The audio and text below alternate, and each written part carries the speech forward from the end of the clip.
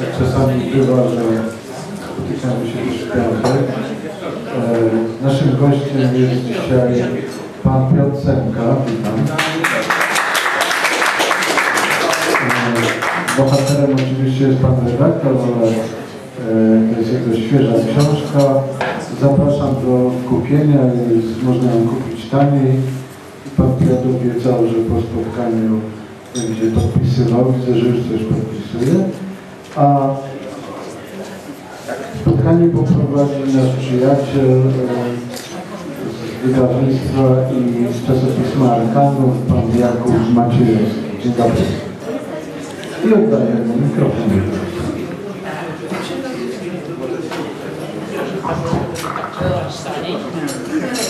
Szanowni Państwo, y, będę wdzięczny, żebyśmy y, wyłączyli głos y, w telefonach komórkowych. Stara zasada mówi, że nawet jak nikt nie dzwoni cały dzień, to podczas takiego spotkania na pewno zadzwoni i zachwyci nam rozmowę. Przyniosłem też na nasze spotkanie wcześniejsze książki Piotra Semki, nie wszystkie, Mm, ale chciałem Państwu mm, przypomnieć, że Piotr Semka e, pisze książki niezwykle aktualne, bardzo szybko e, reaguje. E, Lewy czerwcowy, no to już ponad e, 20 lat temu. 22 lata. Tak, więc mieliśmy e, o upadku rządu, o sytuacji mm, politycznej ówczesnej. E, Dosłownie parę e, miesięcy, jeśli nie tygodni, po 10 kwietnia wyszła opowieść arcypolska o Lechu Kaczyńskim. E, Niesamowicie arcyromantyczna też e, opowieść. Mm, I e, wcześniej, jeszcze, jeszcze z rok temu bodajże, wyszła e, biografia e, Lecha Wałęsy, gdzie nie tylko jest takie piętnowanie, tylko taki szerszy obraz e, prezydenta, epoki, trochę z, z dowcipem, e, z przypominaniem jakichś takich lapsusów, a nie tylko e, ciężka, przesadzista historia zdrady tudzież e, e, bohaterstwa. Ym, A teraz mamy książkę, która odwołuje się do lat 44-56. Książkę My, reakcja, historia emocji antykomunistów, która przenosi nas w czasie o kilkadziesiąt lat wstecz.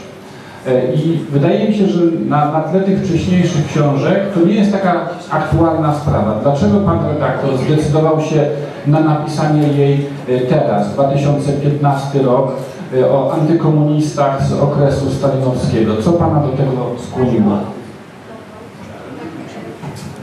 Powodów, powody były parę. Pierwszy, pierwszy powód to książ, taki nurt książek zaczął się ukazywać dotyczący e, e,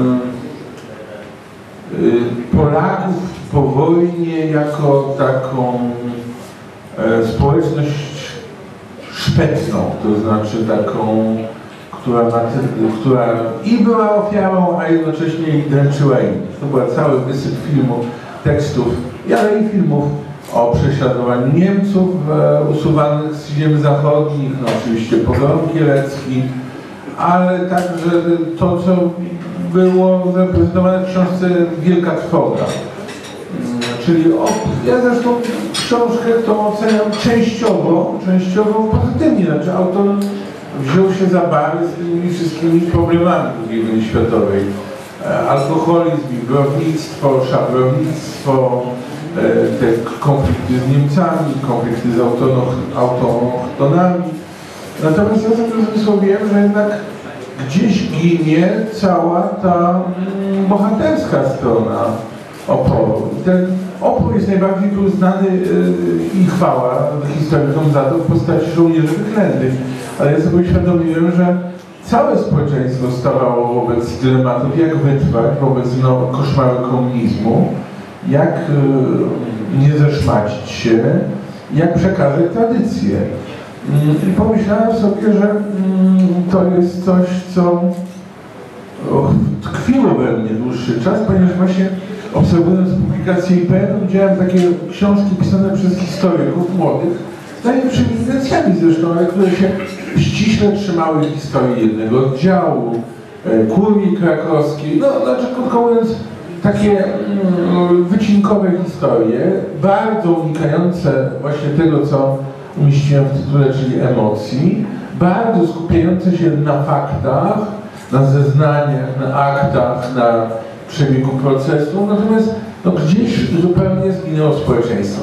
I drugą, no ale ktoś powie, że o książkach o epoce stalinizmu wyszło stosunkowo dużo.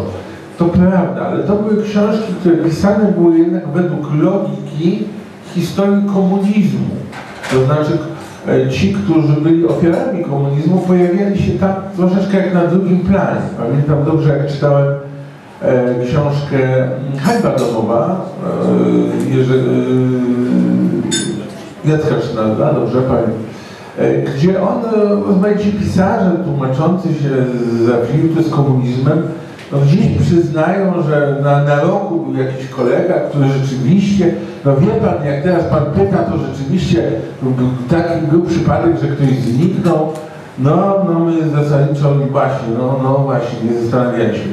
Ja myślałem sobie, że trzeba odwrócić tą logikę, to znaczy, że ta książka musi być pisana z punktu widzenia tych, którym niebo się na głowę, którzy byli ludźmi, którzy nagle przestali być legalni, no, bo stali się obywatelami drugiej kategorii.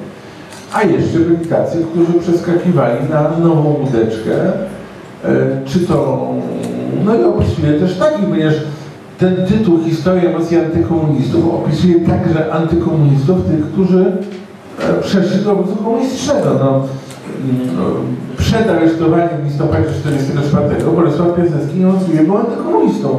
Jego ugrupowanie uderzeniowe, bataliony kadrowe były wręcz uważane za, za, za symbol antykomunizmu. A jednak potem podjął swoją mm, flirt z systemem. Było we mnie też dużo takich mm, rodzinnych opowieści, rodzinnych jakichś e, zachowanych dowcipów, e, powiedzonek, e, które tak naprawdę ja sobie usmysłowiłem, że nigdzie jak gdyby nie zostały opisane. Znaczy, dowcipy z lat 50., e, kolor, barwa, wybory. To też jest zasługa mojej babci Marii. Ja zawsze żartuję, gdy omawiam tę książkę, że być może ta książka zaczęła się, gdy w 1973 roku zapadła decyzja moim e, tata kupił taki duży telewizor, chyba Bell się nazywał, a może Bajka, się nie pamiętam już, Topas może pamiętam. I zapadła decyzja, że ten telewizor będzie w pokoju mojej babci. No i wszyscy się gromadzili w pokoju babci, ja miałem taki, taki zydelek, siedziałem koło, koło babci. No i dzisiaj po latach żartuję, że babcia pełniła rolę Wikipedii ówczesnej. Bo dzisiaj jak czegoś nie wiemy, no to stukamy, co tam było. A w warunkach komunizmu, kiedy leciały filmy wojenne, filmy historyczne, programy historyczne, no wtedy babcia z swoim nie, nie, nie, nie, nie do podrobienia głosem męczała i mówiła, nie no bzdura, było zupełnie inaczej. No nieprawda, no właśnie gdyby Anders nie uciekł y, z Rosji, to by go y, zamęczyli. No nieprawda, Mikołajczyk nie, wcale nie był arogancki, pewny poparcia mocarstw, tylko właśnie mocarstwa go ignorowały. I ja mm, w, tym, filmie, w tej książce jest bardzo dużo takich scenek z filmów perowskich, które wyłapuję takie rozmaite e, i to, to właśnie to są wszystko zasługa mojej babci, bo moja babcia w odpowiednim momencie potrafiła się nachylić do mnie i zwrócić uwagę na pewną rzecz. Podam dwa takie przykłady.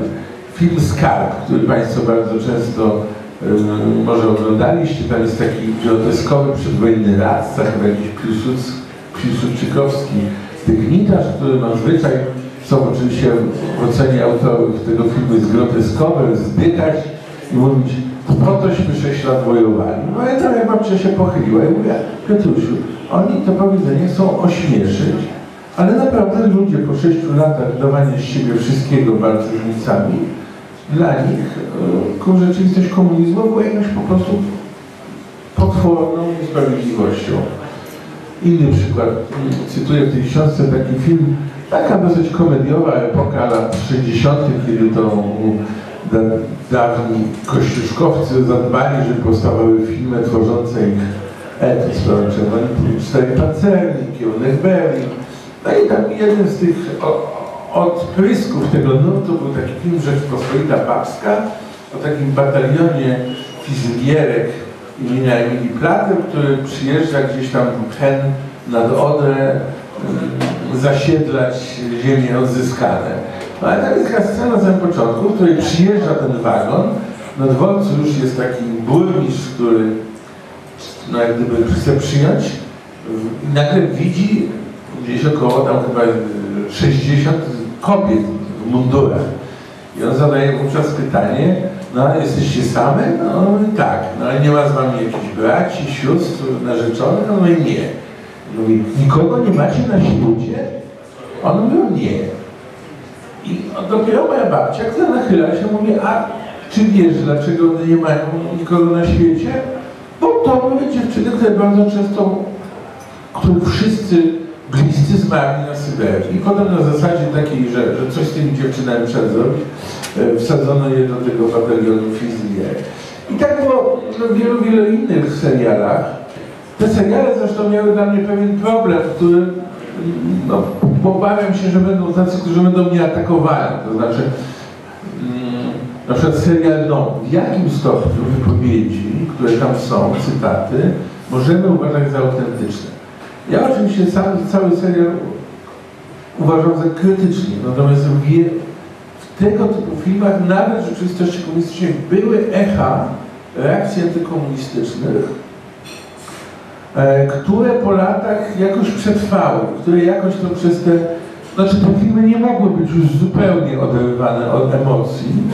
I w związku z tym w takich filmach bardzo często były prawdziwe. Na przykład ja cytuję taki film właśnie też pokazujący atmosferę, że się dzieje w 50 chyba szóstym roku, przyjeżdża taka właśnie dziewczyna z walizeczką i powtarza jej to samo, to znaczy co było, że on mówi, e, ma, miała zanotowane, że tu mieszka ciotka, to gdzieś ciotki już dawno nie ma, gdzieś wyjechała, no i ta dziewczyna mówi, no ale co ja teraz mam zrobić? Mówi, no jak to, nie ma pani jakichś krewnych, nie ma pani jakichś znajomych? No i nie, jestem sama na świecie. Dzisiaj bardzo często się gdyby ten motyw kogoś, kto nie ma nikogo na świecie, bardzo często jest znany w publikacjach, książkach Hanny dotyczących ludzi, którzy mm, e, przeżyli Holokaust. Ale zupełnie zapomniano, że w Polsce była bardzo duża kategoria ludzi, którzy naprawdę tracili wszystkich. To były takie przypadki dzie, dzieci na przykład, które w czasie e, masakry wsi na Wołyniu uciekały do lasu. I to, jest, to gdy wróciły, no widziały wszystkich członków swojej rodziny po prostu e, wymordowanych bardzo często w bestialski sposób e, zadręczonych. No i tak, takich ludzi było wtedy bardzo dużo. Zastanawiałem się, em, gdyby historyk miał nadać tytuł tej książce i tak mm, wymyśliłem taki alternatywny tytuł, bardziej naukowy. Recepcja współczesnej historii wśród Polaków pierwszej dekady PRL. Okej, może był, to było nudne, ale przede wszystkim tak szlifowałem ten tytuł i, i nie, jednak by to nie było prawdziwe, bo na blisko 900 stronach jest nie tylko życie codzienne y, w czasie represji stalinowskich, y, nie tylko opis, jak, jak ci Polacy reagowali na różne wydarzenia, ale też na przykład nadzieje polskie. Prawda? Anders na białym koniu, nadzieja na trzecią wojnę światową.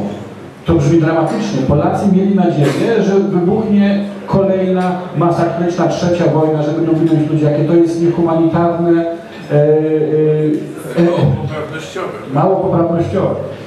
Więc e, w tej książce są też nadzieje, obawy. E, Nie jest to więc życie codzienne, e, nie jest to też recepcja na, na wydarzenia i ja bym zasugerował, że ta książka jest opisem pewny, pewnych składników naszej tożsamości, wspólnoty, bo pan redaktor opisuje genezę pewnych mitów w Polsce. I chciałem zapytać, na ile niektóre z tych mitów aktualne są dzisiaj. Na przykład kiedy, kiedy tutaj e, czytałem o tym, e, o tym Andersie, o, o tym antykomunizmie, albo o Mikołajczyku, tak? Ja może przeczytam e, fragment, gdzie zresztą jest mm, cytowane wspomnienia chociażby Mikołajczyka. Tej chwili nigdy nie zapomnę. To jest e, fragment wspomnień z Krakowa. E, Słynne przybycie e, do naszego miasta. Ci wygłodzeni, lecz pełni nadziei ludzie, kobiety i mężczyźni, podnieśli samochód do góry, to jest ten, ten 3 maj 1946 roku. Podnieśli samochód do góry i nieśli go na swych plecach i ramionach. W powstałym zamieszaniu ranna została jedna z kobiet, która upadła na ziemię. Wyskoczyłem z samochodu, by udzielić jej pomocy, lecz nie zgodziła się na przewiezienie do szpitala. To nieważne, krzyknęła. Pan wrócił. Znów będziemy mogli żyć. Mamy teraz powód, by przetrwać. Tłum wziął mnie w ramiona i długo niósł przez ulicę, śpiewając na cały głos dawne wolnościowe pieśni polskie. I ja mam wrażenie, że taka potrzeba silnej jednostki, przywódcy, który daje nadzieję Polsce, ona jest wciąż w nas zakodowana, e, wciąż w nas ży- żywa i nie chcę tu się popełnić bałwochwalstwa, ale pewne obrazy ze współczesnych wydarzeń, jak i wielkie nadzieje wiążemy z niektórymi przywódcami e, politycznymi, mogą być jakąś kontynuacją takiego polskiego kodu kulturowego. Czy jestem w błędzie, a jeśli nie, to jakie są jeszcze przykłady? Znaczy, e, ja opisuję tą, to jest moja historia, której ja chciałbym, żeby czytelnik wczuł się w potworność kolei całej sekwencji wydarzeń. To znaczy, za każdym etapie tej książki wydaje się, że już gorzej być nie może, po czym, po czym jest gorzej, prawda?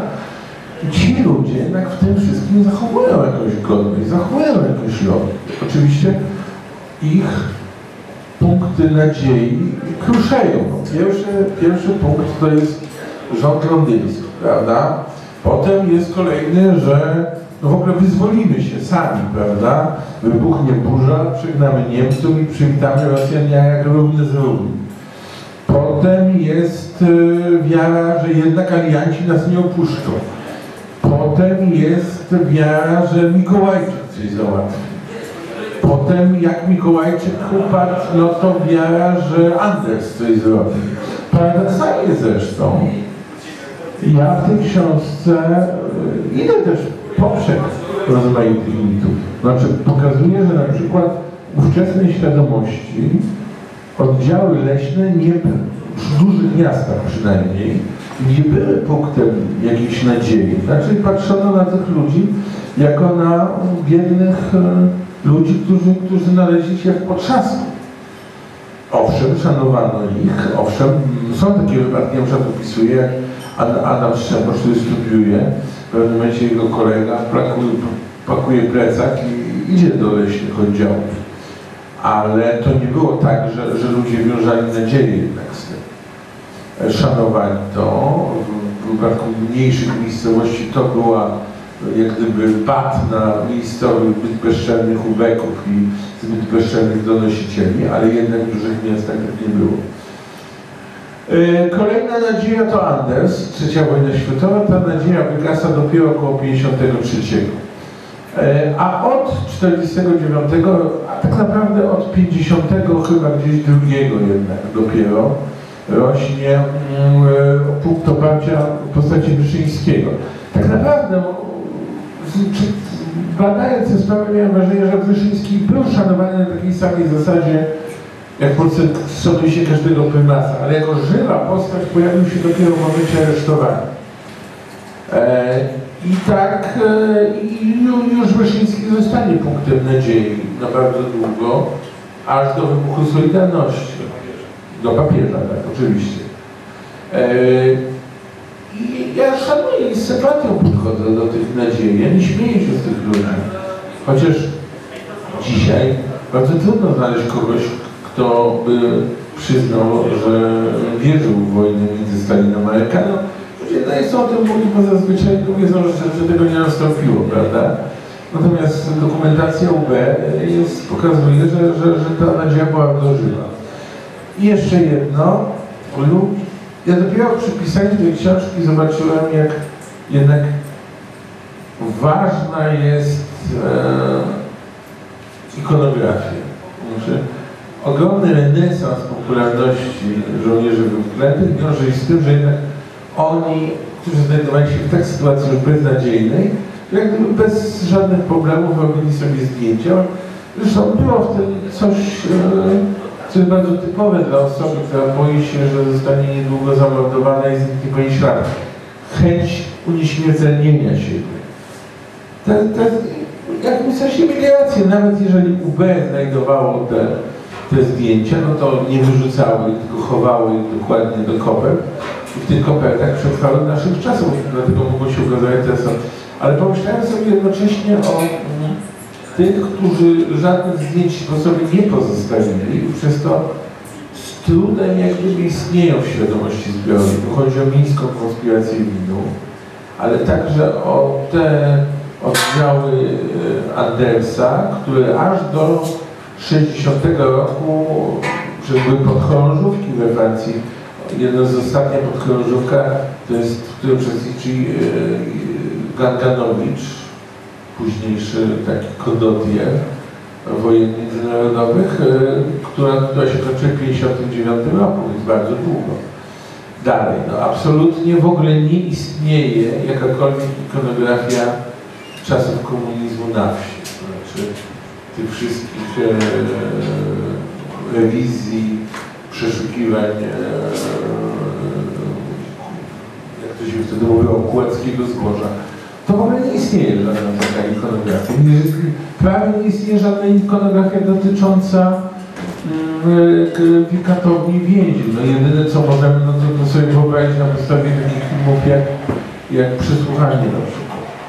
Ale i tak i tak co bardziej fachowi, którzy wiele przeszli, jak obejrzeli Przysłuchanie, to powiedzieli, że to w ogóle były żarty. No i wreszcie barierą jest też niechęć samych ludzi, którzy przeszli te potworne rzeczy do opowiadania o tym. Ja się nie dziwię, no po prostu inaczej nie zwariowali, którzy mieli opowiadać o tym. Istotnym e, bohaterem zbiorowym tej książki, no Polacy wiadomo, ale są też dzieci, często urodzone po wojnie, które wsłuchiwały się w głos rodziców i jednak zaskakująco dużo rozumiały y, zagrożenie, rozumiały te nadzieje, właśnie rozumiały emocje. Mam tutaj też ta, taki fragment, y, który pan redaktor już uzyskał z y, rozmowy y, z bohaterką tych wydarzeń. W naszym domu było dużo dzieci. My, krewni, zaprzyjaźnione dzieci sąsiadów. W naturalny sposób podzieliliśmy się na dwie grupy, które toczyły z sobą dziecięce wojny. Tyle, że pod wpływem opowieści rodziców jedna grupa nazywała się PPR-em, a druga PSL-em. Każde wojsko miało swoją kwaterę w konarach dwóch wielkich drzew na terenie naszej posesji. My jako PSL postanowiliśmy zdjąć z domu zieloną zasłonę na okno, nadziać na kij i przymocować do szczytu naszego drzewa. Nie wzięliśmy pod uwagę, że nasz zielony sztandar był widoczny z ulicy. Gdy rodzice dowiedzieli się o tym, wpadli w pasję. Oficjalnie krzyczeli na nas za zdjęcie zasłony z okna, bez pytania, ale my doskonale czuliśmy, że bali się najazdu UB na nasz dom. To, jak bardzo się zdenerwowali, pokazało, jak wielka była atmosfera strachu w piasecznie. Tak? Tak, no bo to rzecz się dzieje w 1947 roku. No, no PSL istnieje formalnie, prawda? Jako legalna partia. A jednak rodzice dostają po prostu no, napadu strachu. To pochodzi Chodzimy o ten fenomen dzieci, że tak, znaczy ja, y, ja w ogóle y, zaczynając pracę nad tą książką miałem takie przekonanie, że ta książka właśnie, to jeszcze ludzie, ja tę książkę uważam za książkę optymistyczną. To znaczy ta książka pokazuje, jak, jak ludzie wobec kolejnych fal koszmarów samo organizują się bardzo sprawnie. Naprawdę. To jest książka, która mm, przypomina mi troszeczkę ten okres jak na skalę potworności, która się zdarzyła w Polsce, Polacy sobie zdawali w tym czasie stosunkowo dobrze radę. porozumieli się bez słów, prawda? Tak, oczywiście ktoś nie może powiedzieć, że nie pisze o tych wszystkich milionach ludzi, którzy robili karierę i tak dalej. Nie, ja piszę o tych, którzy byli, w ogóle nie mieli szans nawet robić kariery, bo, zostali uznani za wrogów klasowych. I taki przykład, na przykład mm, miałem takie przekonanie, które może było wynikiem jakichś takich e, opowieści, które były na przykład w NRD, że dzieci aresztowane były kierowane do domów dziecka, w których im brano. Okazuje się, że nie, że jednak sytuacja była i lepsza i gorsza. Czyli i lepsza w tym sensie, że nie brano tych dzieci, w związku z tym nie, nie, nie robiono z nich janczarów komunizmu, a z drugiej strony e, te dzieci były pozostawione same sobie. I jednak z tych opowieści, tutaj cztery takie opowieści daję, no jednak były jakieś mechanizmy pomocy. W jednym wypadku, e, gdy e, rodzice zostają aresztowani i zostaje 12-letni chłopak z 7-letnią siostrą, no to ten chłopak na przykład dostaje od organizacji jakiś banknot, tam chyba 200 dolarowy. E, oczywiście w tych czasach samo posiadanie dolarów było już problemem, ale jednak, no jeżeli ktoś umiał się poruszać, no to mógł sprzedać te dolary i z tych pieniędzy były rzeczy. No ludzie też widzieli, pomagali, to tam pojawia się bardzo często, że wszyscy w bloku, w tym domu pomagali. Ludzie widzieli takie rzeczy. To jest ten, nie no, być może nie zawsze, ja, natomiast ja, yy, ja z tych wspomnień, które miałem, miałem przykłady, przykłady pozytywne. Może tak jest, że ludzie rzeczy nieprzyjemne wypierają z pamięci, ale mm, faktem jest, że o, podam opisać inne na przykład zjawisko lekarzy, którzy robią wszystko, aby wysłać więźniów, począwszy od 1954 roku, przerwa e, w, w wykonywaniu e, wyroku. Potem opisuje tam jeden z, z jak na przykład wraca z więzienia i wszyscy, mm, wszyscy, jak gdyby żaden konduktor nie wymaga od niego biletu. Wszyscy widzieli, że ktoś wraca. Potem opisuje taką scenę, którą mi babcia opowiadała, jak, bo wówczas było bardzo ogóle tak, rzeczy, które dzisiaj już nikt nie wie, co to znaczy, prawda? E, W filmie Człowiek z żelaza, i to też, przepraszam, Człowiek z marmuru, to też zwróciła mi babcia uwagę na to, że Birkut po zwolnieniu przyjeżdża, pamiętacie, taka jest scena do Zakopanego, do takiej kawiarni i nosi rękawiczki. A jest przecież tam chyba lato, prawda? I ten babcia też mi powiedziała, a wiesz Piotrusiu, dlaczego ten pan nosi rękawiczki? Dlaczego? Bo mieli ludzie powyrywane paznokcie i te po prostu e, opuszki, nie wiem jak to nazwać, to co jest pod paznokciem, prawda? Ta, ta część skóry była z jednej strony bardzo wrażliwa, a z drugiej strony te palce wyglądały bardzo dużo, prawda? To jest ta scena, którą opisuje, że, że, że, że wsiada do pociągu do przedziału facet w tych rękawiczkach, wszyscy natychmiast robią mu miejsce, ale w przedziale jest jakiś taki hamowaty głupek, który nagle mm, mm, nie bardzo wiedząc o co chodzi, mówi he he, panie, co pan? Przecież jest lipiec, a pan ma rękawiczki. Natychmiast ktoś mówi jeszcze jedno słowo gnoju i wylatujesz na zbity ryj z tego przedziału. Prawda? Ludzie takie rzeczy widzieli. Czy to było masowe? Czy to, czy, czy, czy, czy to jest wyszukiwanie takich rzeczy ku pokrzepieniu serc? Jednak nie. Znaczy uważam, że, że, że, że to jest jakiś zapis mm, Solidarności, który jest bardzo ważny. Podaję przykład inny. No. 46 rok, pierwszy kongres PSL-u w Warszawie. Warszawa jest zdominowana, mieszkań prawie nie ma. PSL ogłasza do warszawiaków, że trzeba przyjąć chyba gdzieś tam 900 delegatów. W ciągu paru dni po prostu każdy, jest po parę ofert na mieszkanie. Po prostu wszyscy są zorganizowani. Dalej. Eee, Stefan Korbański, działacz PSL-u, przypomina taką śmieszną sytuację, że w pewnym momencie przyszła do nich ekipa robotników, którzy przyjechali z Katowic i budowali, odbudowywali e, most Śląsko-Dąbrowski w Warszawie. Mówią, no my chcemy stworzyć koło, koło mówi, No ale jak, no, jesteście na, na wsi, no, ludowe, no co, no jesteśmy, pracujemy y, z siłą własnych, no, no to mamy prawo. No oni się oczywiście bali, no bo wszystko mogło ściągnąć siebie, zresztą UB dostawało szału, gdy robotnicy trafiali do... E, I jeszcze jedna taka obserwacja bardzo charakterystyczna, to, Stefan, to Władysław Bartoszewski mówi, że każdy, że dzisiaj to już w ogóle zapomina się, że ruch przyludowy powstał na wsi w takiej głębokiej opozycji do, zazwyczaj do miejscowego proboszcza. Ludowcy byli wyklinani jako antychryści, jako e, bezbożnicy i tak dalej, i tak dalej. Bardzo często to było.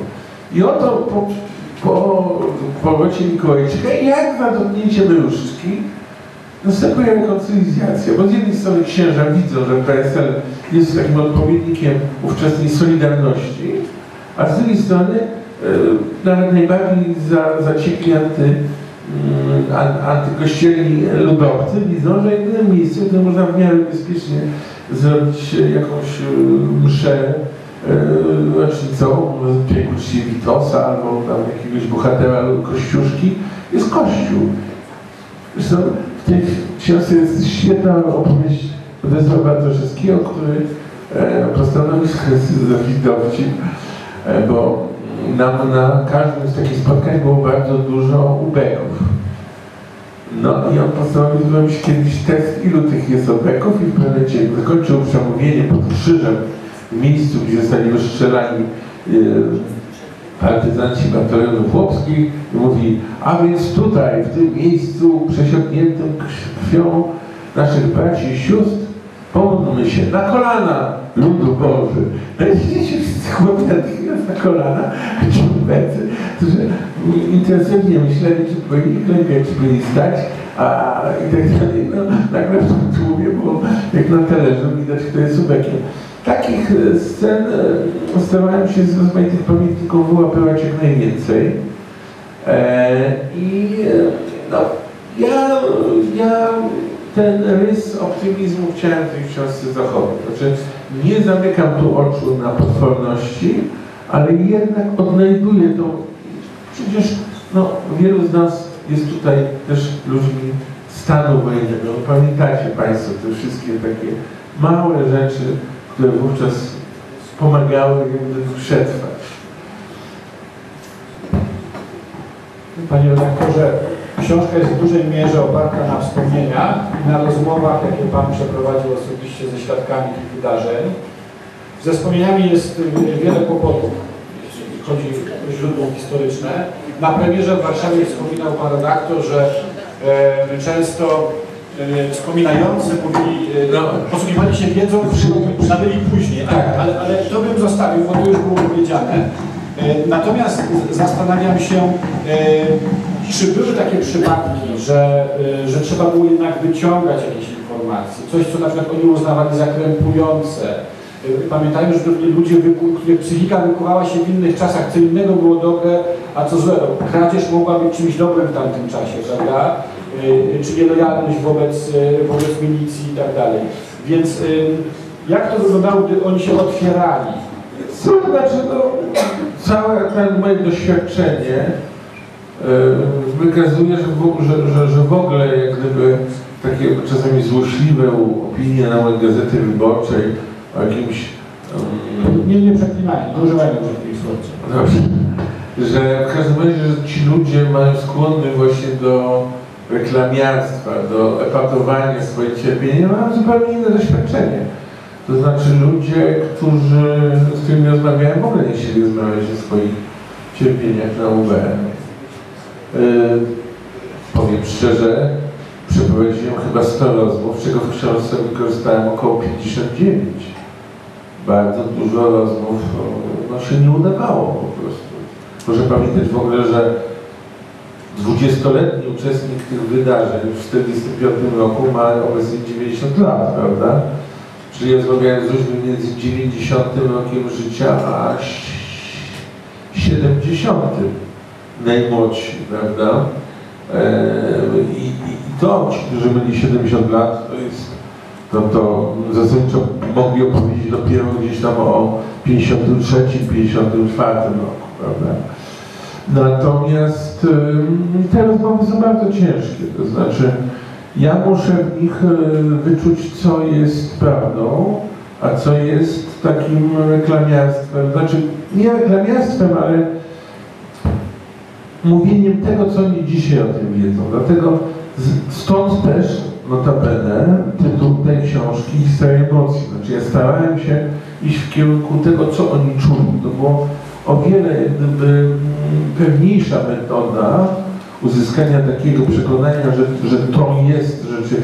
No, drodzy Państwo, no, każdy autor musi w takich sprawach jak gdyby mieć, posługuje się swoim czubiem, swoim nosem. Znaczy kiedy autor jak gdyby jest wiarygodny, a kiedy jak gdyby już coś opowiada, trochę, to, trochę wiedząc to, co, to, co dzisiaj przeczytał książkę. Więc ja pod tym kątem, no, no, no nie ma dobrej metody na to oprócz wyczucia samego autora. Ale ta książka we mnie tkwiła. Ja bardzo często też wspominam wypowiedzi sprzed wielu lat, które jak gdyby zapamiętałem, prawda? Na przykład, no,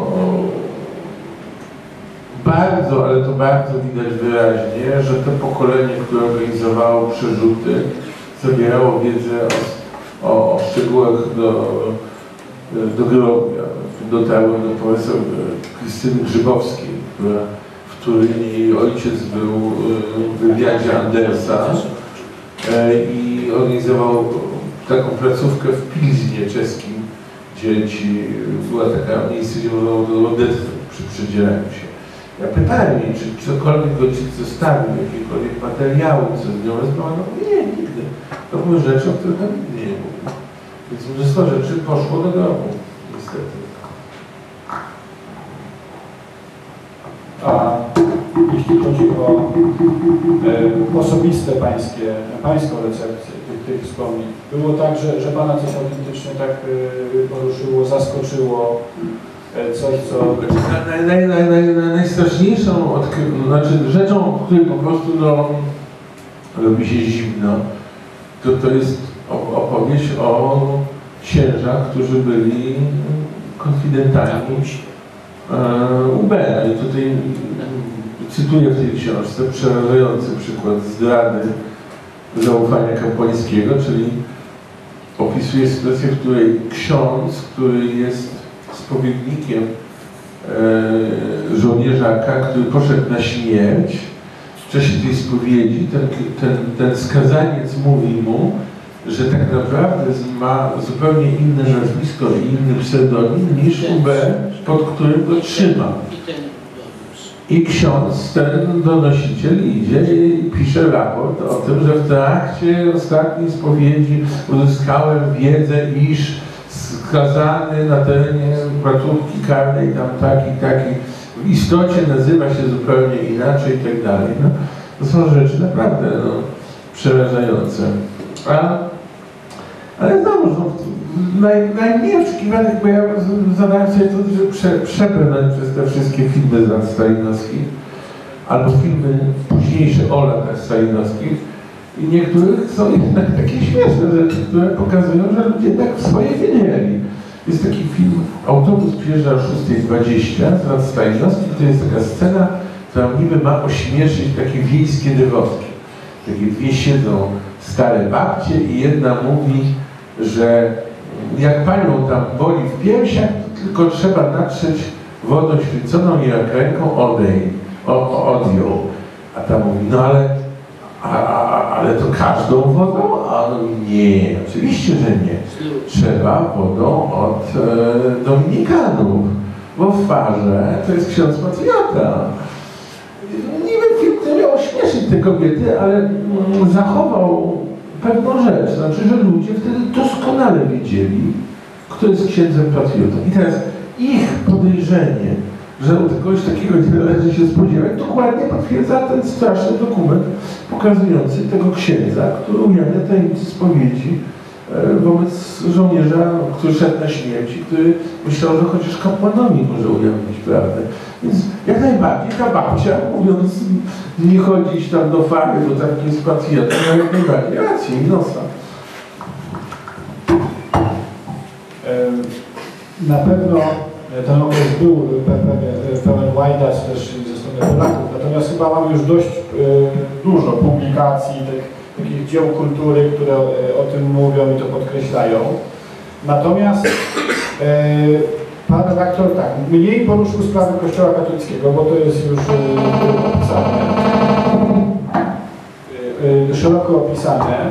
Natomiast e, są też rozdziały poświęcone takiemu życiu e, codziennemu e, na wsi. To, jest rzecz, która jest do dziś jakby dyskredytowana. Ten wieśniak to jest synonim, e, no, ma deprecjonować. E, O tym też pisze już nawet bardziej naukowo pani doktor e, Fedysza Grodziejowska, tak? że, że to jest cały czas biała karta, biała plama w, w polskiej historiografii. E, Jakie rzeczy właśnie chciałbym Pan redaktor podkreślić z tej książki, czego nigdzie nie ma w opracowaniach naukowych? Znaczy, no, wieś jest bardzo dużym problemem. To znaczy, ludzie na wsi w ogóle rzadko piszą wspomnienia, a wtedy już w ogóle nie pisali, bo się bali. Zresztą o tym, jak bardzo wieś zastraszona potrafiła być, że kiedyś moja opowieść, kiedyś rozmawiałem z Jarosławem Kaczyńskim. Otóż Jarosław Kaczyński e, jako członek e, Komisji Interwencji Kororu e, przyjechali do niego jacyś, dostał sygnały, że jest we wsi, są naciski, aby usunąć księdza. E, I on pojechał do tej wsi, no i tam jak gdybyś jakiś znajomy udało, że ten gospodarz ci wszystko opowie.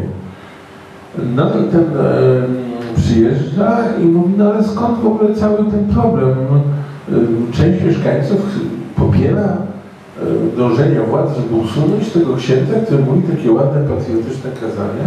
A on mówi tak, no ale jaki czynnik to spowodował? On mówi, no, Kubę znalazł paru takich gospodarzy, którzy, których głos się liczy we wsi.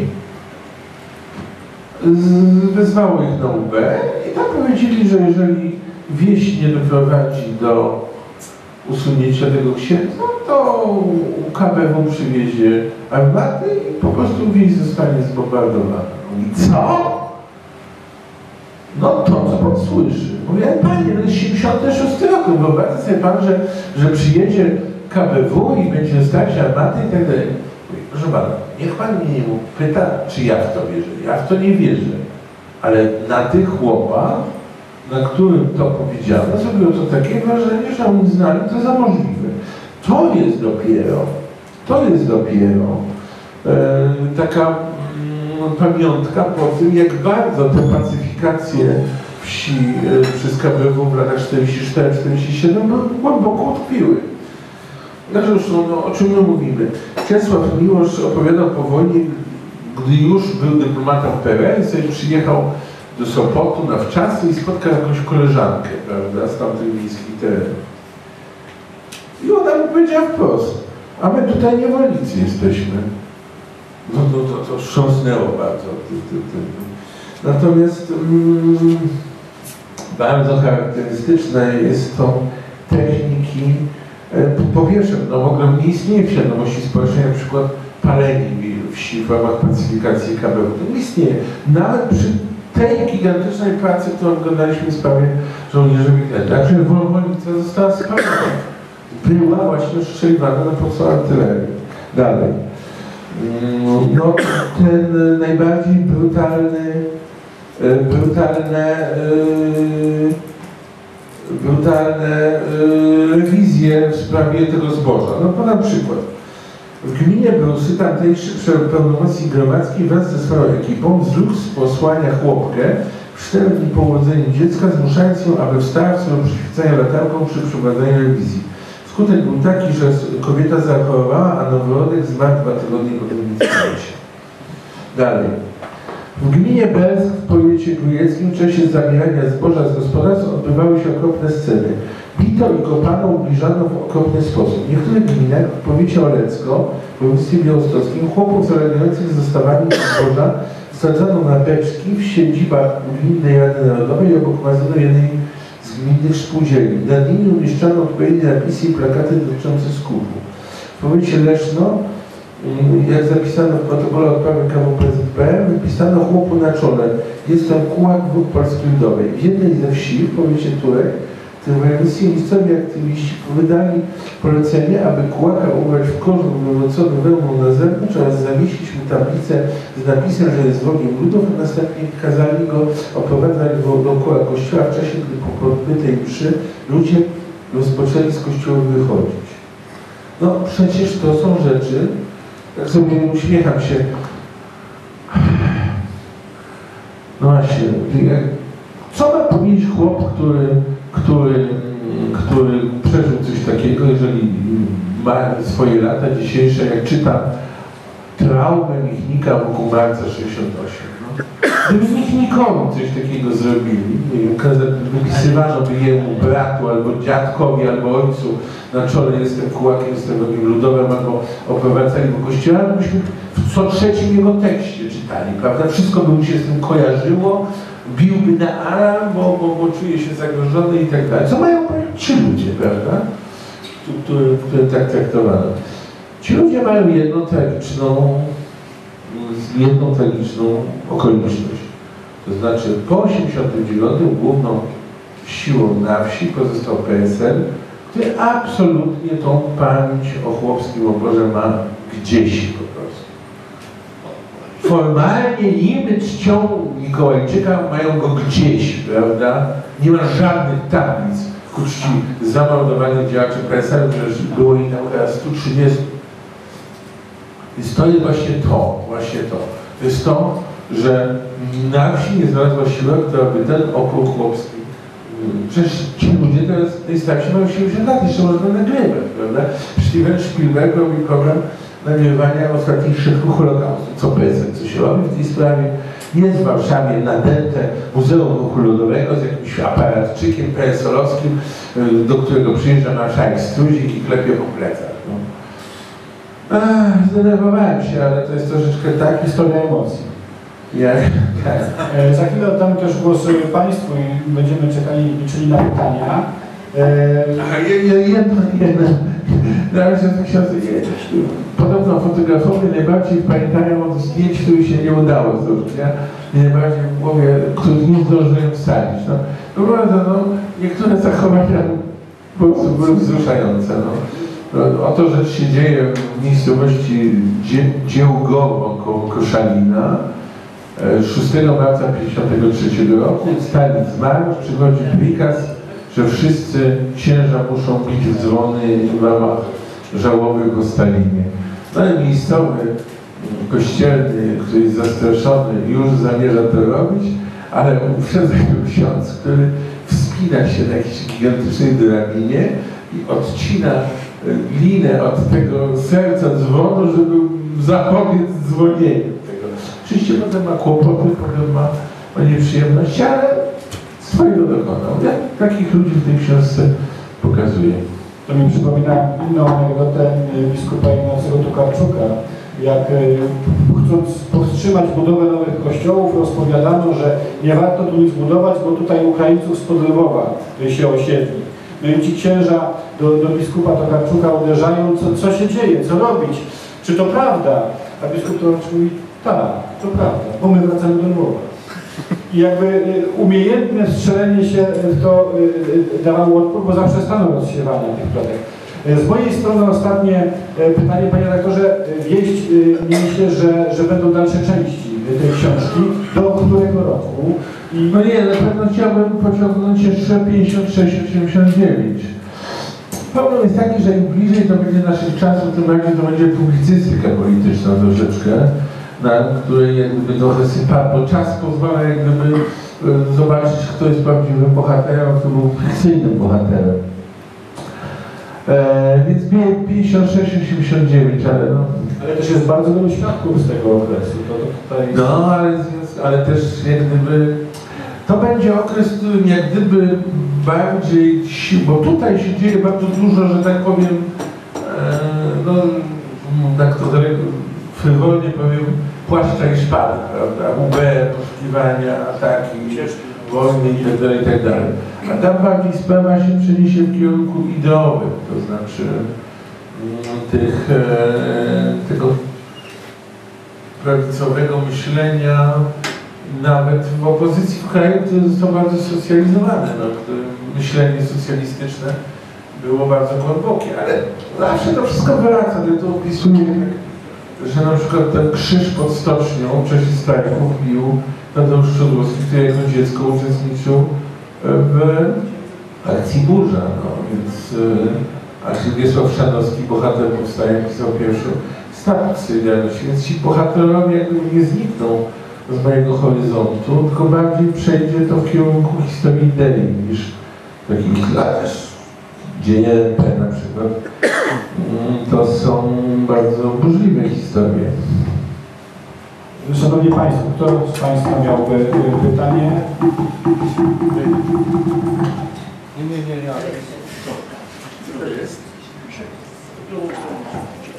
Pan coś chce powiedzieć? Zdjęcie z długim opisem.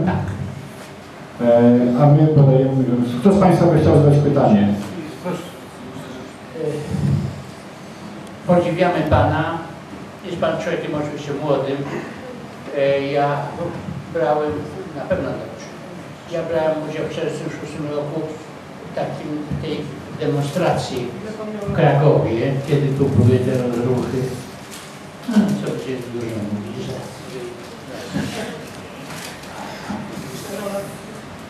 Dziękujemy bardzo za, za, za to świadectwo i fotografia. Ja E, sobie od razu fotografuję, bo jakieś wspaniałe dzieło.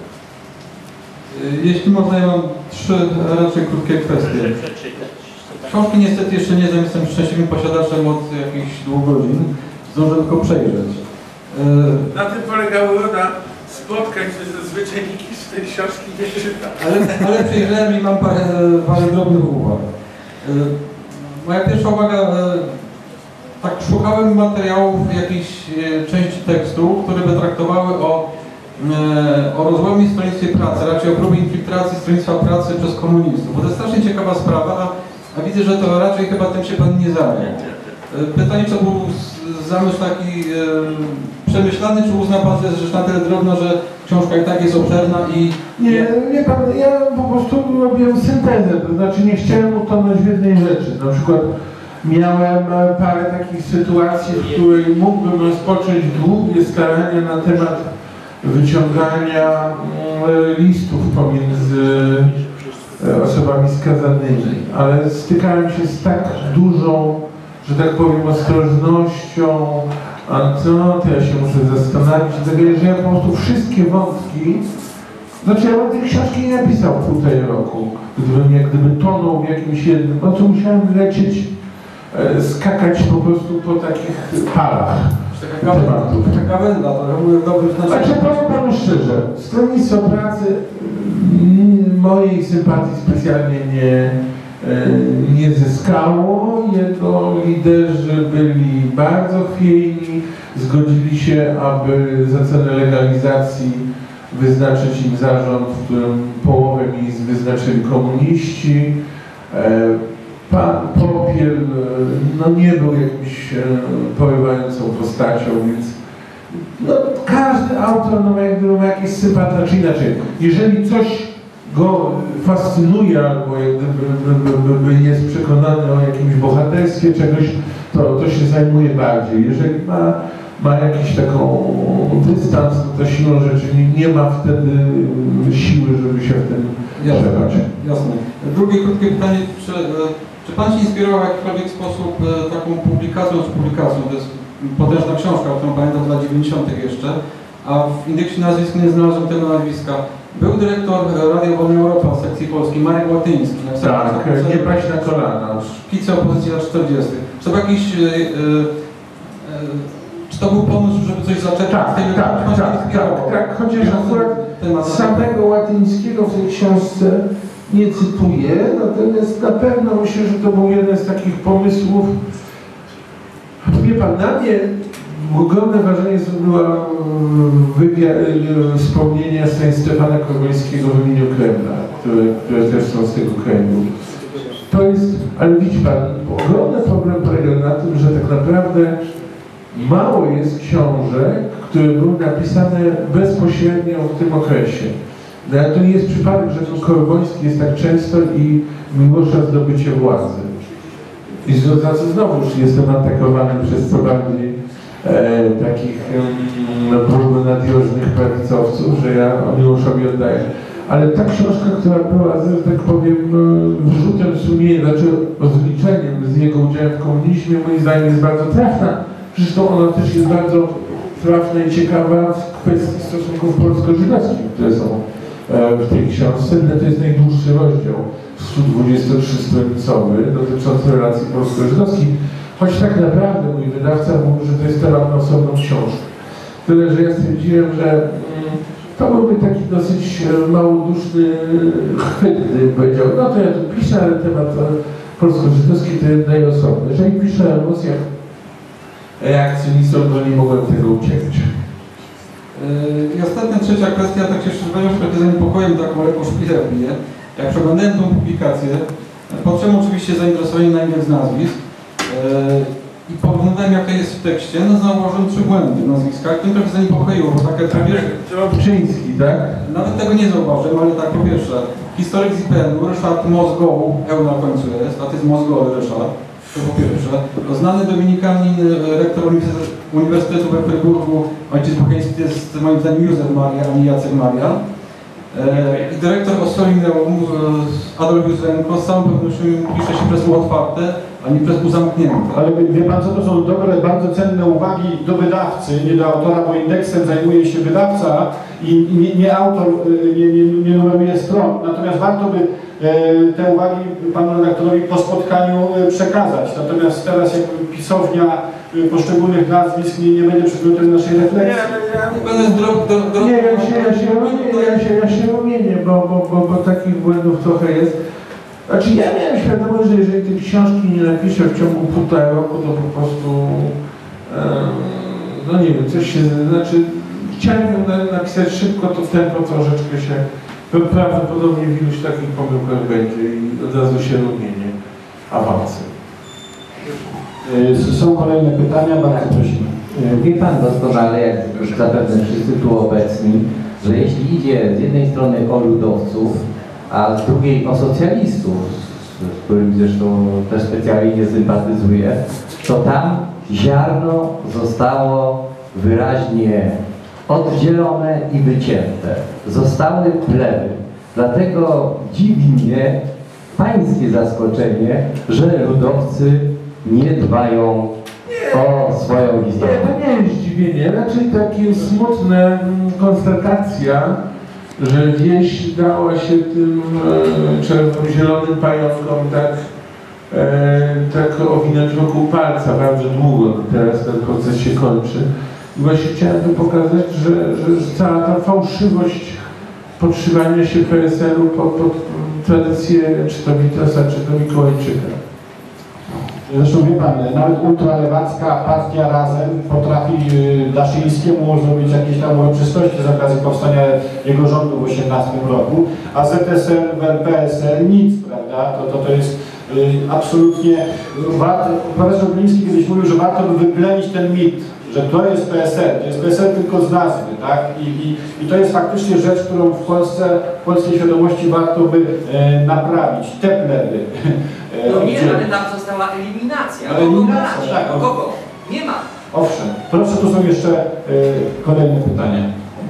Ja pierwszą taką ogólną uwagę, takie w zasadzie podziękowanie, bo rzeczywiście od jakiegoś czasu ja się zajmuję e, okresem wojennym i mniej trochę powojennym, głównie, głównie w Krakowie i ze zdumieniem właśnie dostrzegam, że tylko niektóre fakty są w ogóle badane i opisywane. I teraz widać w tym, co zresztą pan redaktor Bull, także pan prowadzący e, także e, w swoich, e, używał takich sformułowań, które pokazują, że dzieli nas tutaj właśnie co najmniej trzy takie pokolenia. Są ludzie, którzy pamiętają tamten czas, ludzie tacy jak ja, którzy się urodzili zaraz po wojnie dla, dla których pewne z tych rzeczy, o których tu jest mówione, są zdziwienia. Jak pan redaktor e, te filmy e, omawia, to jest ciekawe, właśnie myśmy to przeżywali jako filmy na bieżąco, a zupełnie czymś innym i zupełnie inaczej. Co innego dziwi osoby, które jakby dowiadują się w tej chwili po wielu, wielu latach o, o tamtym okresie i w zasadzie się nie dowiadują, dlatego że jest to nieopisane. I tutaj taka drobna anegdotyczna e, e, historyjka, która dotyczy tamtego okresu w Krakowie. E, Ma powstać film o referendum w Krakowie w 1946 roku. Jak ekipa teraz zaglądnęła do archiwum, to się okazało, że ostatnią osobą, która do, do archiwów zaglądała, ten, przeglądała ten, nie samo referendum, tylko ten czas w Krakowie, to był Jan Grosk w latach 90. Od tego czasu nikt, nikt nie zaglądał do archiwum, które by tego, tego okresu w Krakowie e, dotyczyło. E, w moim przekonaniu e, to, co Pan e, zaproponował, jest niezwykle ważne. Znaczy, że rzeczywiście pisanie i okres okupacji, i okres lat 40. i potem zresztą opozycja, to, to nie jest właśnie sprawa ani walki, tylko walki zbrojnej, ani spraw politycznych, ugrupowań politycznych, tylko to jest to, co nazywam idea państwa obywatelskiego, nie społeczeństwa obywatelskiego, tylko państwa obywatelskiego. Ludzi, którzy wobec sytuacji, w jakiej się znaleźli, starali się zachować jak, jakby właściwie z punktu widzenia państwowego. I teraz e, tego na ogół nie umiemy opisywać i to jest nieopisywane i tego niezwykle brakuje. Jak rozumiem częściowo, a to często przez najprostsze zachowania ludzi, małych ludzi, ludzi w niewielkich e, środowiskach.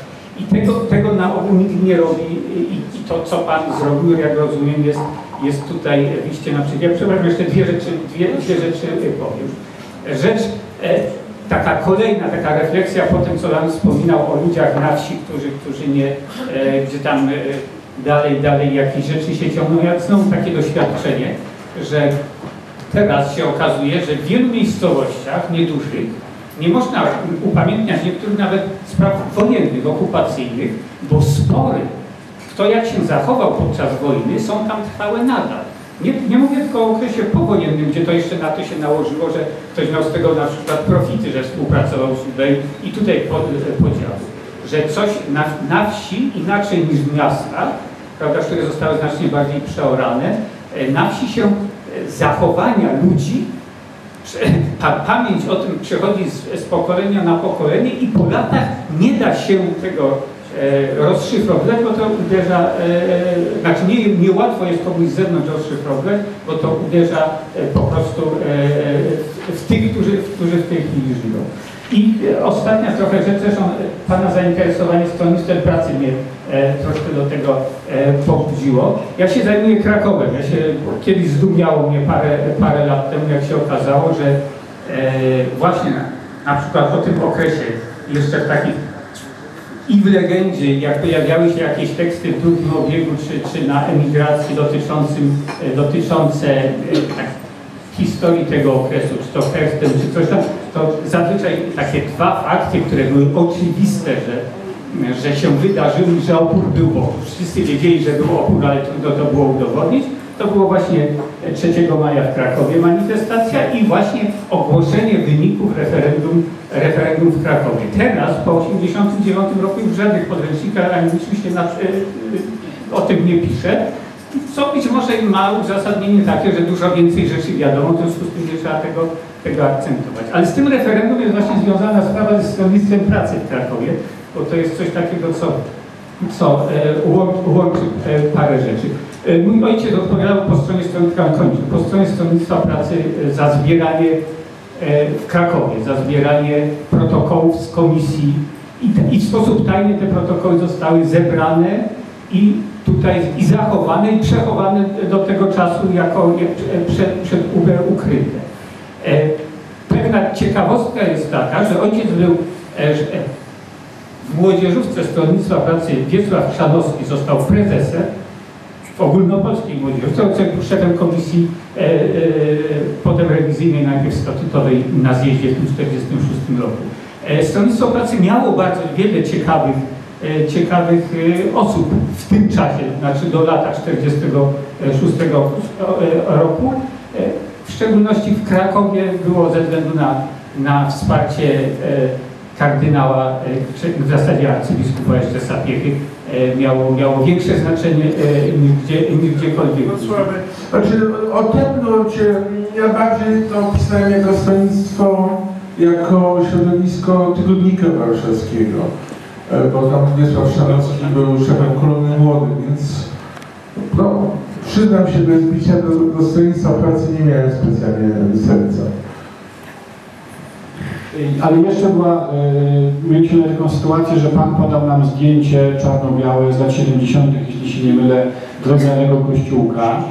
60. Tak, nie może Pan pozostawiać ani, widzów, ani tutaj y, zgromadzonych w takiej totalnej niewiedzy, jakby mógł Pan rozwinąć y, ten wątek, co na tym zdjęciu zostało y, przedstawione, dlaczego to zasługuje na naszą uwagę. No to jest, na- jest napisane o to, to były te straszne czasy, kiedy e, trzeba mieć zezwolenie na budowę kościoła. A ten, ten kościół duży został e, wybudowany w ciągu jednej nocy. W ciągu zdjęcie zrobił mój nieżyjący przyjaciel Andrzej Izdebski z KPN-u.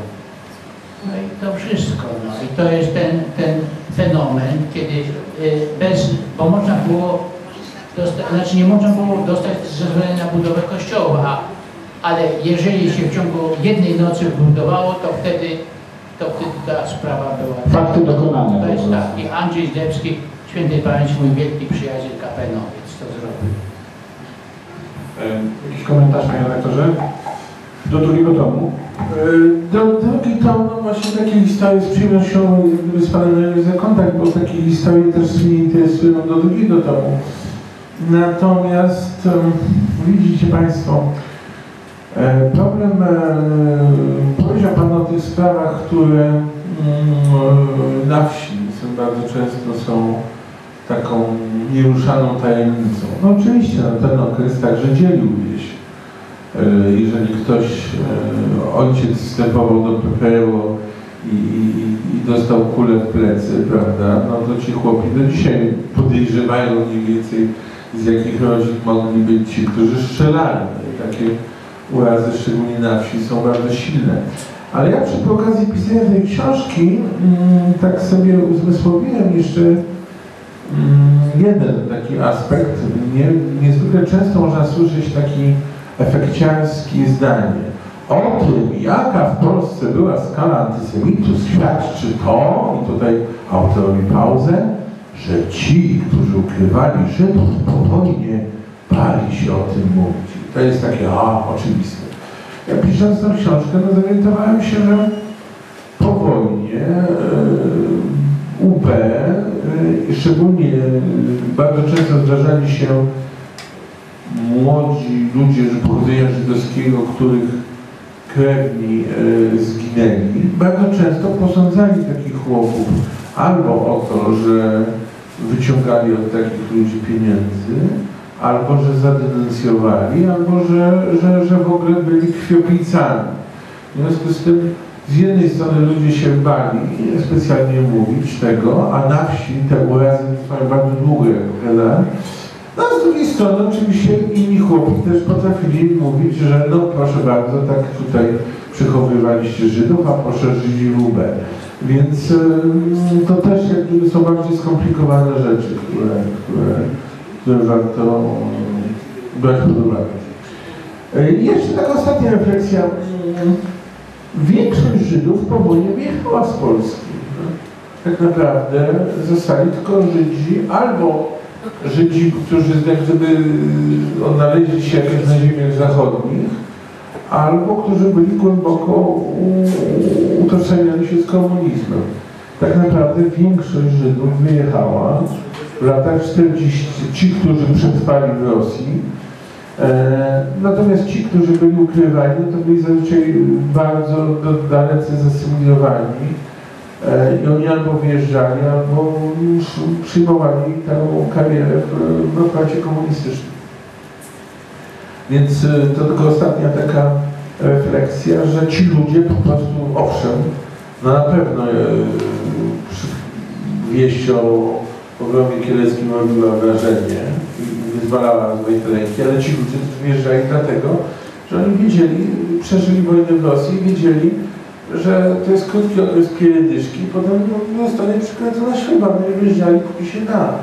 A i no i jeszcze ostatnia rzecz, no jednak e, by, były też represje jednak dosyć solidne wobec Żydów tych, którzy reprezentowali ten nurt Żabotyńskiego, prawda, czyli tych, em, tych em, syjonistów, rewizjonistów i oni trafiali do więzień. Tutaj cytuję opinię o relacje polskich em, krakowców, którzy trafiali na takich.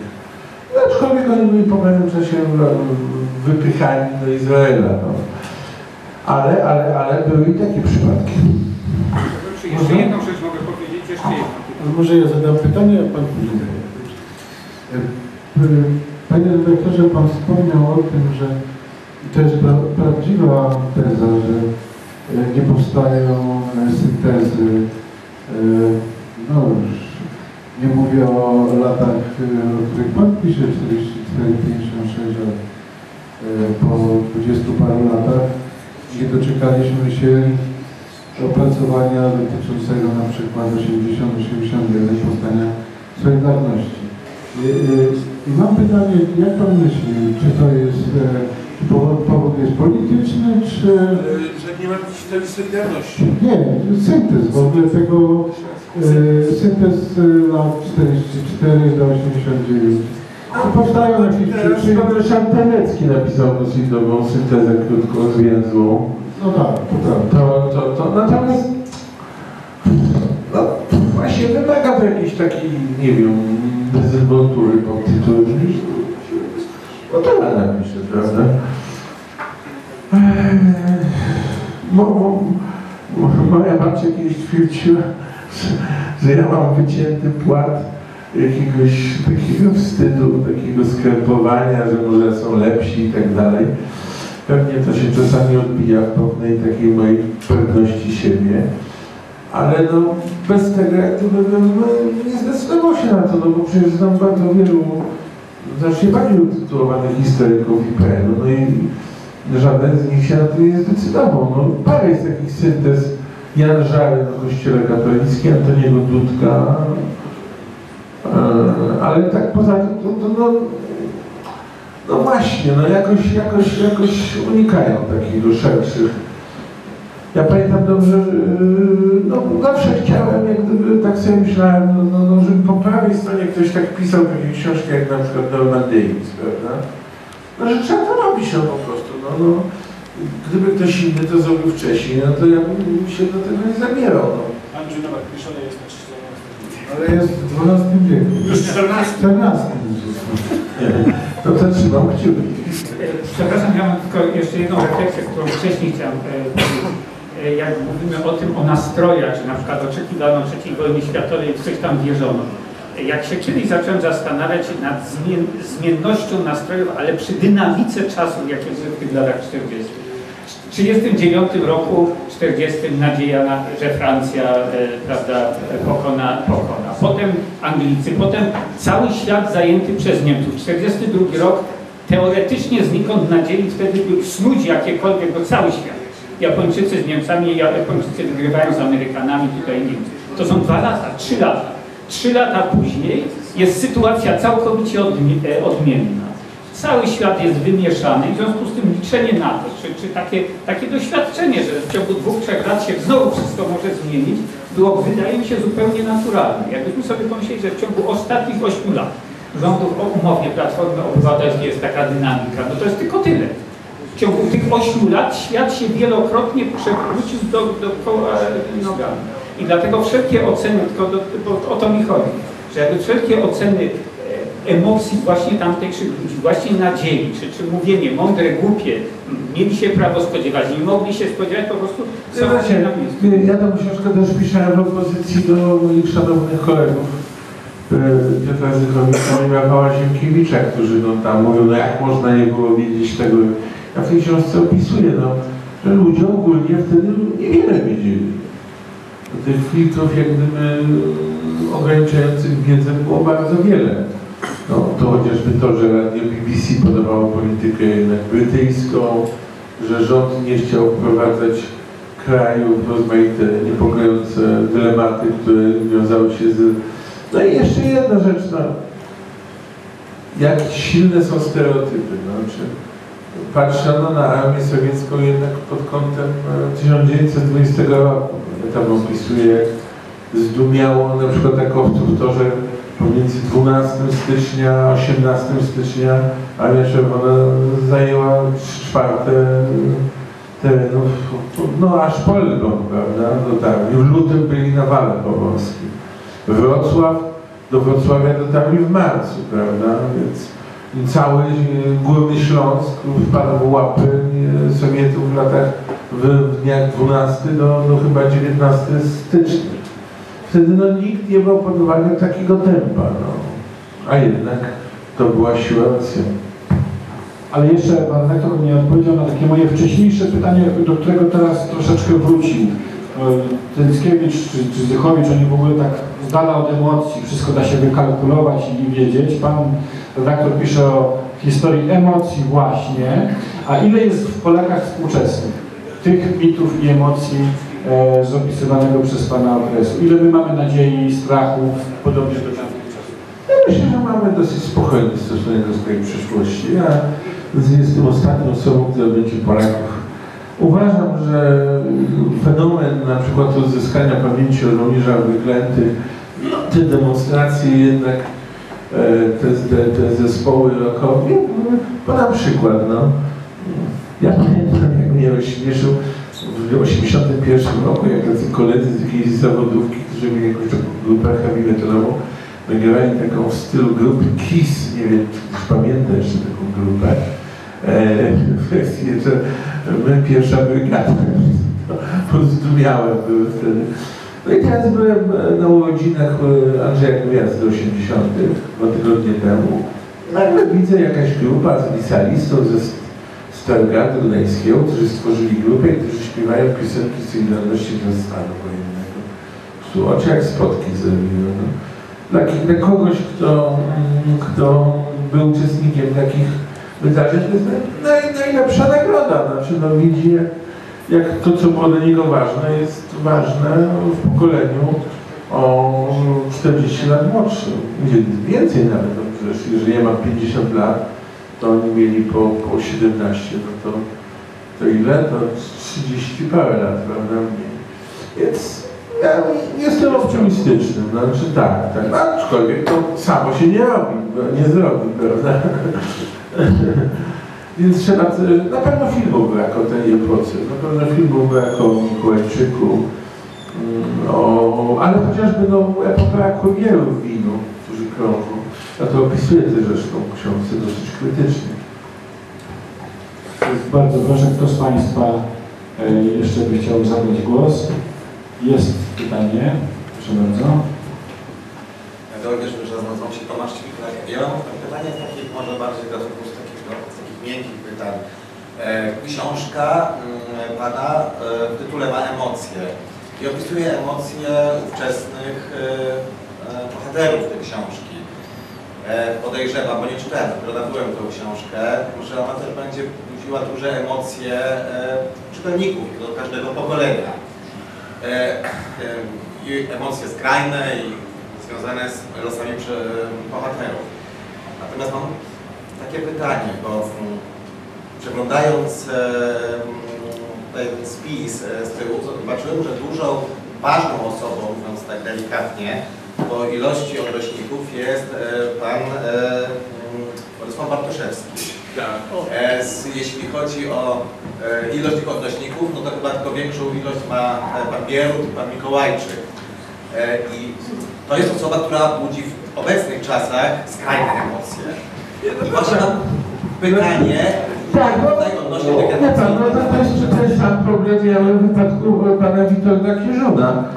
E, Proszę pana, więc e, Witold, Władysław Bartoszewski jest osobą, e, która no, była jednak w centrum wydarzeń wówczas. I e, nie wiem, no mam wrażenie, no, no, nie, no te wszystkie wspomnienia, które napisał grube tomy dotyczące tej epoki. Po prostu z jego pokolenia więcej osób nie napisało. Na przykład wspomnienia Władysława Krzameckiego są mimo wszystko dosyć ogólne, prawda? Natomiast ilość szczegółów, które Władysław Bartoszewski za, e, zapamiętał, no, stawia go w roli człowieka, który, który, który pisząc, no, korzystamy z niego. A no, a no ja nie mogę pisząc o tych sprawach, no jak gdyby brać pod uwagę, co on teraz robi, kogo obraża i tak dalej, znaczy już świętej pamięci. Ja wiedziałem, że to będzie kóło w oczy, prawda? No, no ale no, no, no, no, naprawdę w wielu wypadkach bardzo cofne rzeczy mówi. To nie w aspekcie kłucia w oczy, tylko e. No to był inny Bartoszewski, no, no zresztą w ogóle, no, nawet ktoś, drodzy Państwo, no przecież gdyby Bartoszewski e, dotrwał do 2000, nie wiem, 5 roku bez żadnych kontrowersji politycznych, no to naprawdę byśmy go żegnali, nie wiem, wszyscy od prawej do lewej, no. To, co stało się z Władysławem Bartoszewskim w ostatnich latach, oczywiście będzie trudno zmyć z pamięci o nim, ale to był człowiek, który naprawdę e, opisał tamtą epokę doskonale, doskonale. Znaczy, jeśli mogę wymienić trzy najlepsze, które mi się nazywają opisy tych epoki, no jeden literacki, ale jednak to jest Miłosz, to jest Bartoszewski, to jest e, Korbojski. To są trzy najlepsze rzeczy, no. Powiem szczerze, no. Z kolei, no, prawa strona, no bardzo by chciała mieć swoich, jak gdyby, mm, Bartów e, w tej mierze. No dobrze, no nie będę kłamał. No, no, mm, cykl czterech książek e, Janusza Krasińskiego, no, który jest bardzo wysoko ceniony, no jednak jest powieścią. No, ja, znacznie, znaczy są, są oczywiście fragmenty mojej książce, no, ale powiem zupełnie szczerze, jeżeli tu ktoś jest y, bliski, to przeproszę, ale naprawdę no, trochę rozczarowany byłem tymi książkami. Więc to tak jest niestety, że ci, którzy przechowują pamięć, niekoniecznie muszą być postaciami, które nas zachwycają pod każdym względem. No. No i to samo z tym serialem Dom. No, są też osoby, które, które się wybuchają i no, przy domu propagandowy serial. Dobrze, no, ale to, co było propagandowe, teraz tego serialu nie biorę. No, biorę tylko te rzeczy, które moim zdaniem były odbiciem jakichś trendów, które, które warto było zachować i uwiecznić no, w tej książce. Myślę, że pan redaktor zdradził się y, podczas naszego spotkania z jedną rzeczą. Chyba książka ma współautora, to znaczy pańska babcia Maria, tak? Tak. Jakby mógł pan redaktor o tej, o tej inspiracji nam trochę powiedzieć, no bo jak rozumiem, to była też część tej epoki, która kształtowała i przekazywała pamięć. Znaczy moja, moja y, babcia, y, znaczy dwie babcie były. Babcia Bronia, to była żona mojego dziadka, uczestnika konspiracji Łupaszki, Która dedykowana jest... którą jest dedykowana książka i babcia Maria, która była żoną przedwojennego oficera marynarki, któremu po wojnie już nie pozwolono, znaczy on sam nie chciał i który był pierw w Urzędzie Morskim, a potem był w, w, w wykładowcą Politechniki Gdańskiej.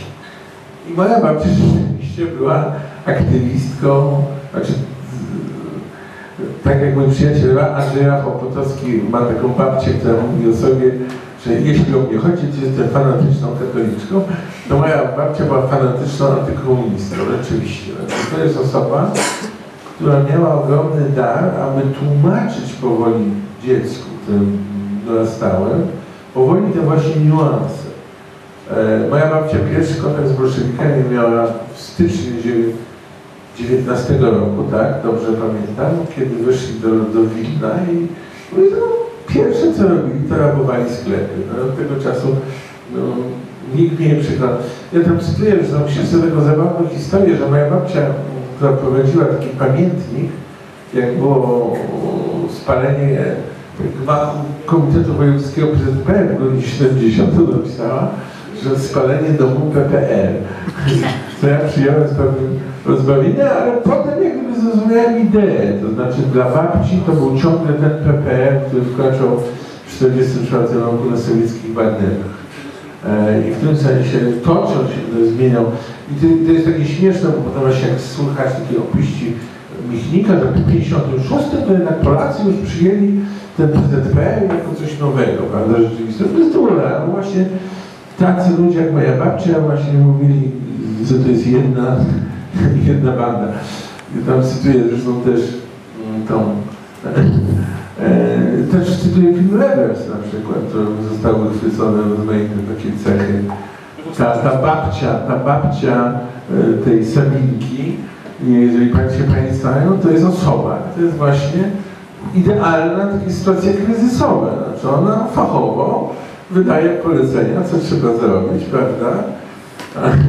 To jest taka śmieszna scena, zacytowałem ją, tam jest taka scena, że ta Janta, która jest czy matką tej Sabinki, taka troszeczkę e, taka roz, rozegzaltowana, która mówi, no właśnie, jaka szkoda, że, że nie mamy już apteki, bo myśmy posadzili wtedy w kasie naszą Sabinkę, wszyscy mogliby zobaczyć, jaka jest śliczna i na pewno by się jakiś adorator znalazł. I wtedy ta babcia zimnym tonem mówi, ale ci tą aptekę ta swołocz zabrała. Jak ja usłyszałem to to dokładnie mi się przypomniała to moja babcia Maria, która jak oglądała Gomułkę, przepraszam, Gierka w telewizorze, to mówiła od niechcenia, takiego chama, to ona by się do kuchni nawet nie wpuścił. Więc na pewno ta książka jest jakimś trudem mojej babci. No, ona całe doświadczenie goryczy swojego życia na tyle mi wytłumaczyła, że mogłem ją opisać. Więc to jest charakterystyczne. I to jest charakterystyczne zresztą, że tu wspomniany przeze mnie mój dziadek Janek do swojej śmierci mi o tym nie mówił. Dopiero po śmierci ja dopiero wszystko się dowiedziałem o tym e, dzięki pracom Gdańskiego i PN, jak wyglądała ta konspiracja sztumska mojego dziadka. Jeżeli nie ma już pytań, to To mogę podpisywać. podpisujemy i pan redaktor To będzie podpisywał. Dziękujemy za spotkanie. Jeszcze organizatora proszę herbatę z cytryną. Tak, Albo no. sokiem powiedz. Oczywiście. Znaczy, dziękujemy bardzo.